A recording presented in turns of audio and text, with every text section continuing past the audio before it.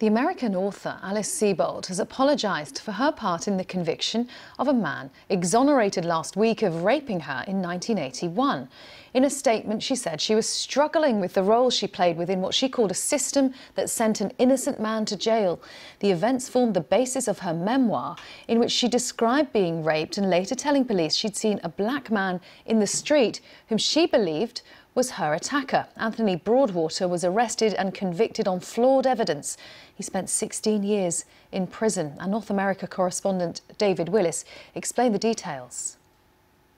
Well, in actual fact, Alice Sebold's memoir, Lucky, may have indirectly led to Anthony Broadwater's exoneration because Lucky was being turned into a film when the executive director of that film started to question, as the process went on, certain details, not relating to the assault itself, but to do with the investigation and the subsequent trial. He brought in a private investigator. The uh, investigator investigator discovered that things simply didn't add up and recommended that the evidence be referred to a lawyer, and that led last week to Anthony Broadwater's exoneration. Now, um, his conviction in the first place was based on him being identified in court by Alice Sebold and by some subsequently proved to be flawed forensic evidence. Now, today, Alice Sebold explained why it's taken her more than a week to actually respond to Anthony Broadwater's exoneration. She said, It's taken me these past eight days to comprehend how this could have happened.